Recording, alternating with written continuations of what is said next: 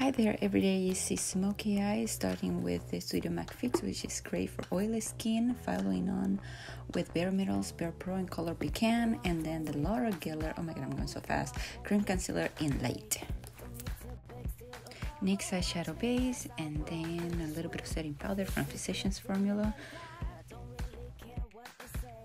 Then Maybelline uh, Color Strike in colors 30 all around my eyelid and then 40 which is the darker color.